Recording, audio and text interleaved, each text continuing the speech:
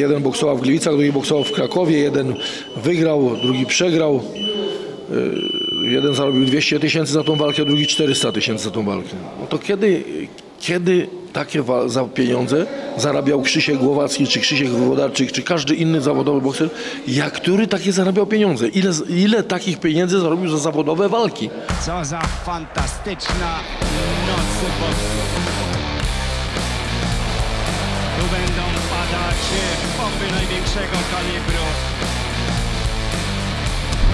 Przygotujcie się Państwo na wielkie grzmoty. Cześć, witam Was serdecznie. Dzisiaj moim gościem jest e, Paweł Skrzecz, wicemistrz świata, dwukrotnie brązowy medalista e, Mistrzostw Europy, no ale przede wszystkim wicemistrz olimpijski z Moskwy. Paweł, witam Cię. Witam Państwa i witam Ciebie Andrzejku, przyjacielu kochany. Miło mi. Słuchaj, No tyle lat się znamy, tyle lat się przyjaźnimy, to już mogę tak się do Ciebie zwracać. Dokładnie tak. W finale Igrzysk w Moskwie przegrałeś e, z, e, Swoboda, Swobodanem Kaczarem z Jugosławii. Prowadziłeś po dwóch rundach. W trzeciej rundzie lekka zapaść. E, wracasz wspomnieniami czasami do tego momentu. Nie szkoda trochę Ci, że tak piękna Twoja kariera nie została uwieńczona złotym medalem olimpijskim? Wiesz Andrzej, no ludzie marzą o tym, żeby być na igrzyskach, żeby realizować nas klas na igrzyskach. A już znalezienie się w finale tych, tej imprezy, no to jest olbrzymi zaszczyt i olbrzymie, olbrzymie e, e, dla, dla zawodnika olbrzymie, spełnienie. No ja akurat w tym finale tych igrzysk byłem. Pewnie, że żałuję. Żałuję, no 40, 35 sekund mi zabrakło do tego, żeby być mistrzem olimpijskim. Głupia, głupia nieuwaga, głupia ambicja może, dlatego że chciałem zakończyć wa- walkę jakimś takim zrywem. Nadałem, nadziałem się na kontrę, byłem liczony i to liczenie praktycznie zdecydowało o tym, że przegrałem 4-1 walkę u dwóch sędziów przy remisie, u jednego sędziego jednym punktem, no i Kubańczyk dał mi pięcioma punktami przegraną, ale w półfinale wygrałem z Kubańczykiem. Tak, tak. No, no trochę żałuję, ale z drugiej strony, tak jak już przed chwilą powiedziałem, no niektórzy marzą o tym, żeby na tych imprezie być, a już finał olimpijski to jest olbrzymi zaszczyt. No, jak sam już znamy się tyle lat, dużo przeżyliśmy. Pamiętam, jak twoim pierwszym e, trenerem był Więczysław e, Kosinow. E, On ci zastępował chyba ojca, brał cię w karby. No chyba jak przeskrowałeś, to czasami też na tyłku wicemistrza olimpijskiego lądowała skakanka. Bez Kosinowa chyba ciężko by ci było wyjść na, na taką ścieżkę wielkiego sukcesu. Raczej mo- może to by był jakiś margines. Jak sądzisz? No, trudno mi jest w tej chwili powiedzieć ci gdybać, co by było, gdyby było. No, moje życie potoczyło się w ten sposób, a ten człowiek zastąpił praktycznie wszystko, bo i ojca, i matkę. Wiadomo, że mama tam jest numerem jeden w tym wszystkim, ale praktycznie on przewrócił się całe życie do góry nogami. Zmieniło się ono całkowicie, podejście zrobiło się do życia, do wszystkiego. Yy, Po, po wielu latach się dowiedzieliśmy o tym, że yy, mama się nie zgadzała na cały czas nas, żebyśmy uprawiali tą dyscyplinę sportu, no byliśmy takimi dość chuligan, chuliganami z Grzegorzem, no i jeszcze do tego wszystkiego chci- boks, także no nie bardzo chciała się na to godzić, nie wiedzieliśmy, dopiero tak jak mówię, po latach się dowiedzieliśmy, że po, po pewnym czasie naszego treningu yy, Więczysław Kosino widocznie yy, widział, że tkwi w nas jakiś talent, spotkał się potajemnie z mamą i po prostu złożył mamę zobowiązanie, że zrobi z nas porządnych lubi, ludzi, że pokończymy szkoły, że on się nami zajmie, że do, żeby nie będzie z nami problemów. No i tak jak przed chwilą wspominałeś, no było nieraz tak, że jak przychodziło się z, e, bo też nawiązał współpracę z wychowawczynią, że jak się wracało ze szkoły, a przynosiło się, to mieliśmy takie dzienniki założone, że tam wychowawczyni po każdym dniu się wpisywała, jakie jak, jakie tam w szkole zachowanie, jakie to. No i jak tam nieraz było coś nie tak, no to, no to Czekaliśmy, czekaliśmy po treningu, aż wyjdą wszyscy koledzy, dlatego że na tyłku były ślady po skakance. Żeby czekaliśmy, aż się koledzy wy, wyprowadzą z, z szatni, żebyśmy mogli wyjść pod, pod prysznic. No ale tak jak mówię, no, wspaniały człowiek, do końca życia e, jego pomagałem mu jak tylko mogłem, woziłem do szpitala, e, ostatnie dni z nim spędzałem, także no... E, człowiek, który praktycznie można powiedzieć stworzył nowe moje życie i to życie, które trwa do tej pory i wiele tych rzeczy, które mi wpajał, do tej pory, do tej pory jest w, cały czas w pamięci i cały czas staramy się postępować tak. Chyba w twojej karierze było więcej zaciętości, ducha pracowitości niż talentu. Czy, tak, czy zgadzasz się z taką interpretacją? Jedni mówili, że mam drugi y, olbrzymi talent, I, I ja sam uważam, że no po prostu takie do tej walki na pięści byśmy już można powiedzieć stworzeni, bo od najmłodszych lat i w szkole i na dzielnicy i tam gdzie się człowiek nie pokazał, to ciągle jakieś awantury, czy na dyskotekach, ciągle jakieś tam bójki, ciągle, ciągle coś, ale ukształtowanie i taki można powiedzieć yy, ząb bo, bo, bokserski to włożył nas, w nas pan Wierzysław Kosynow, z tym, że my wkładaliśmy to, ja wkładałem w to olbrzymią pracę, tak samo Grzegorz, dlatego, że już po szkole była taka umowa z trenerem, że nie wracaliśmy do domu, tylko przyjeżdżaliśmy do, do, na, do klubu, tam na nas czekały stoły, te stoły były do naszej dyspozycji, odrabialiśmy lekcje, uczyliśmy się, no a później było jeszcze czasu do tego treningu, no to, to biegaliśmy, graliśmy w piłkę, graliśmy w kolarza, także my praktycznie, y, ja wykonywałem dwa, trzy treningi dziennie, nie tak jak ko- koledzy, że przychodził na półtorej godziny, trzy razy w tygodniu i ja musiałem być w klubie codziennie, tak, bo tam cały, codziennie była kontrola. Także no i olbrzymia praca, no i pewnie trochę tego talentu gdzieś tam było ukrytego, no. Pamiętasz, e, ja- jakie nagrody, czy nagrodę dostałeś za e, wicemistrzostwo olimpijskie? Za wicemistrzostwo olimpijskie dostałem 2250 rubli na konto i 118 tysięcy z, z Komitetu Olimpijskiego. No i minister, bo wtedy byłem, byłem e, na etacie w e, policji, to, to była jeszcze milicja, byłem na etacie minister MSW, dał mi złoty zegarek. Oczywiście okazało się, że to nie złoty, tylko pozłacany, ale, ale dostałem. Tak. Ale powiedz, co, i te, te ruble i złotówki, ile to znaczyły na tamte czasy? Yy, No, zrobiłem sobie z tego wszystkiego mieszkanie. Yy, Znaczy mieszkanie już mieliśmy z klubu, ale no, no, pozwoliło mi to... yy, Na remont mieszkania. No, no, remont nie, bo to było nowe mieszkanie, ale urządzić to mieszkanie, zrobić coś z tym mieszkaniem. Yy, Pamiętam ruble, yy, jak jechaliśmy do yy, Welingradu, do Bułgarii na leczenie takie, tam było takie leczenie po Mistrzostwach Świata, to te, te, te ruble wyjęłem z konta, tam zamieniłem Bułgarii na dolary, także no jakoś to, no w tamtym czasie no to, to, to, to coś to dodało, ale, ale żeby to była fortuna, biorąc pod uwagę obecne płace, to to nie byli rozrzutni pani nasi komuniści.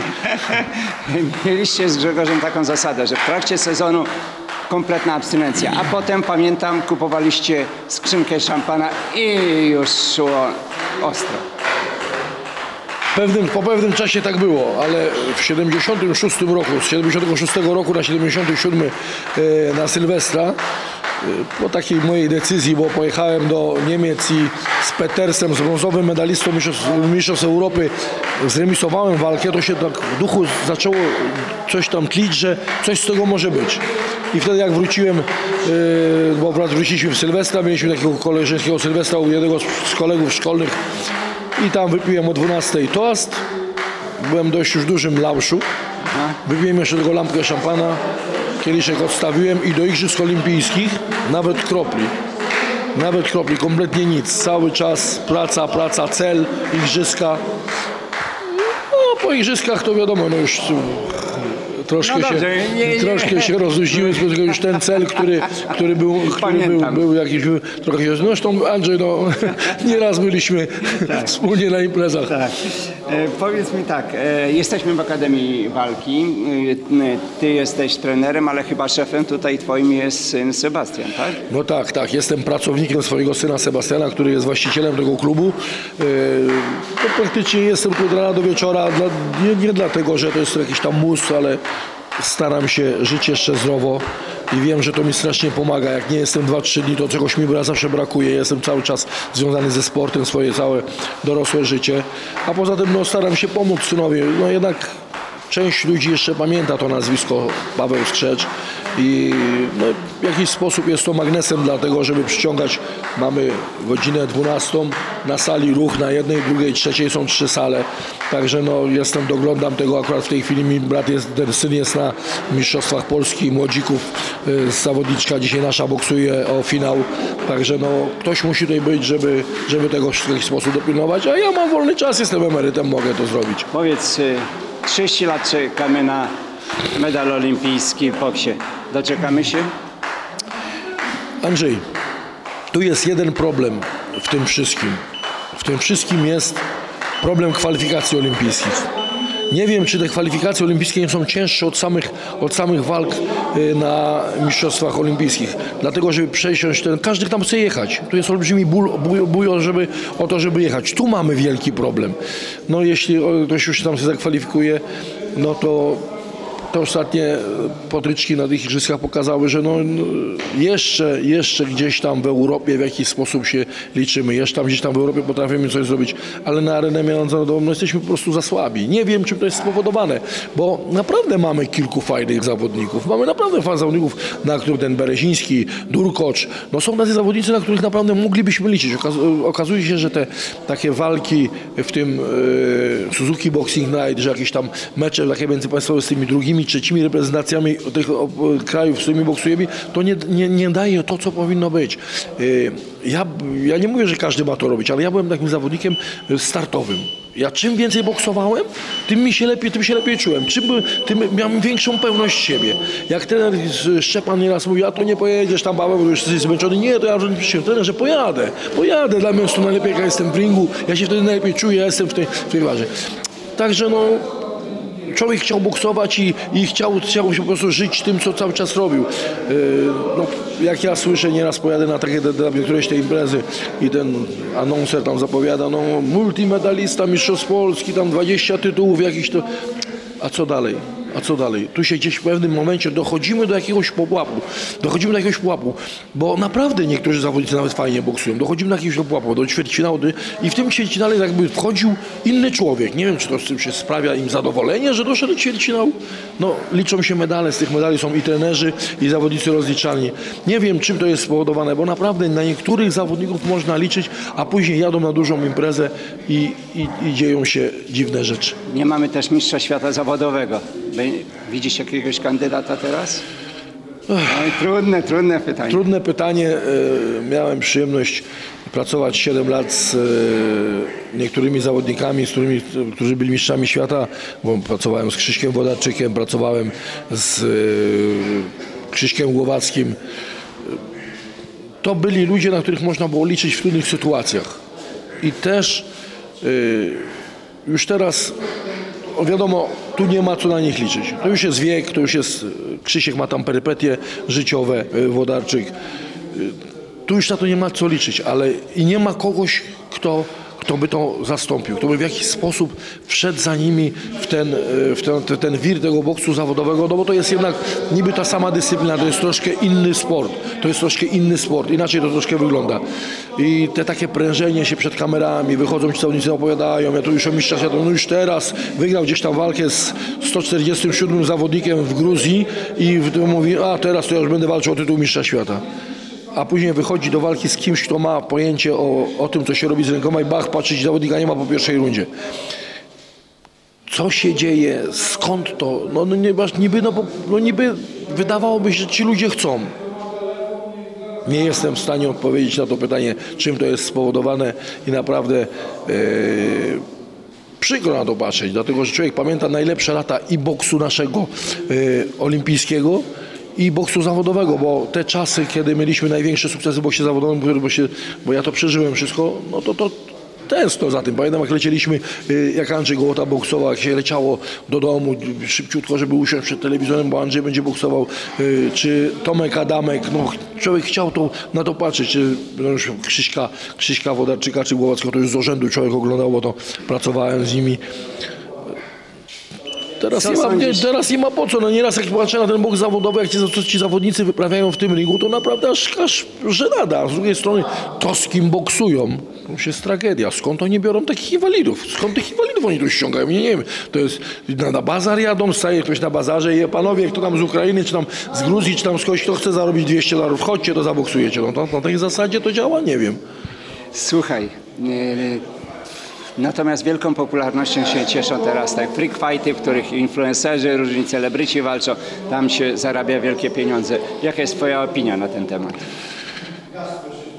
Co to ma wspólnego ze sportem i jaki to jest, jakie to jest, e, nie wiem, e, jakie to jest e, zadowolenie z takiego czegoś. Jedyne, jedyne to są pieniądze. I dlatego to ma taką dużą popularność.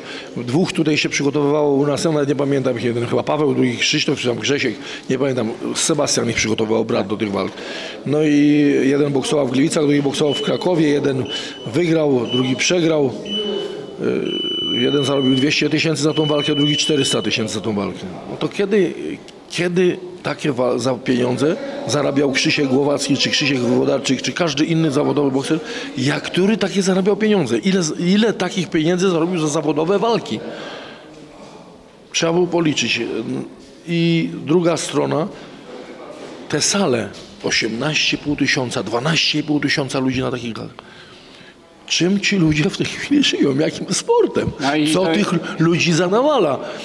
Idą i płacą pieniądze, no jakby mój Sebastian mówi, że na, na, w Gliwicach na tej, na tej walce było to chłopaka, no jak on tu biegał Tak. na tym, to ja się patrzyłem, kto to jest, bo Sebastian, pato, to ten będzie mówił. Ja patrzę, kto to jest, no, no zaraz, no, rozumiem wszystko, ale kto to rzeczywiście jest? On się o, o, o, własne nogi mało nie zabił. Wie, Sebastian, zdejmij- go z tej bieżni, bo on się zabije, już miał zawodnika. I on jedzie i tam jest na tej walce 12,5 tysiąca ludzi. Ale jak mi Sebastian pokazał, bo nagrywał tą walkę, jak spojrzałem na trybuny, no to tam taka przeciętna wieku 16, 20, 21 lat. A teraz idzie Ta młodzież, nowego. ta młodzież tym żyje. Ta młodzież tym żyje. Jakie mamy w tej chwili aspiracje, jakie mamy zadowolenie z czego? W złym kierunku. W jakim to- to bardzo złym kierunku. Ale słuchaj, teraz już idzie coś nowego. Walki w klatce. No, budce ten, tak, cały czas zresztą tu rozmawiamy, bo mamy tutaj kilku trenerów, bo to jest, jest tutaj nas paru, paru do nas z samego boksu, nas tu jest siedmiu i jak rozmawiamy, bo zawsze pierwszy jak przychodzimy po jakichś galach czy przed galami, to, to głównie dyskusja na temat co- się dzieje. No to, to, to, nie możemy dojść, dojść z podziwu. Co można wymyślić jeszcze, żeby ludzie za to zapłacili i to oglądali, to dziadostwo, że tak powiem, i z drugiej strony ci ludzie, którzy to robią i zarabiają tak olbrzymie pieniądze. Przecież to, jest, to są naprawdę nie, nie, nie, nieporównywalne pieniądze do tego, co my zabieraliśmy. W złą stronę idzie ten świat chyba. Ja wiem, ja tak już my się już tutaj śmiejemy, że niedługo dojdzie do tego, że wrócą walki gladiatorów. No bo tak. dostaną miecze w łapy i zaczną się rżnąć na no, No Ja to samo twierdzę. A my przed telewizorem będą ludzie siedzieć i naciskając na pilota mówili te, tego zabić, a tego No, no oszczędzić. tak, tak jak było kiedyś, tak? Tak, Albo tak, tak, tak. tak. Ja no, no, czasami to się tam ogląda, czasami nieraz na, na tych walkach sam jestem no, e, z boksu zawodowego, czy tam na jakichś tam galach jestem zapraszany kogoś e, i tak jak popatrzę, no jaka tam jest e, radość z tego wszystkiego, no siedzą te, te, ci celebryci, niektórzy w pierwszych rzędach, tam gdzieś ta krew bluźnie, tu tę krew Bajka. Paweł, dzięki ci. Dziękuję Miło Ci. miło-. A ja się, ja się cieszę, że mnie odwiedziłeś Andrzejku w miejscu mojej pracy obecnej i w moim pięknym klubie, znaczy nie moim, mojego syna. Bardzo miło Cię było spotkać. Dzięki. Piękne. Paweł Skrzecz.